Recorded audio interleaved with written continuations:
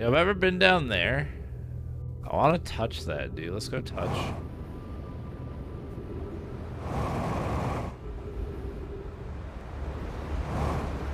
Oh no!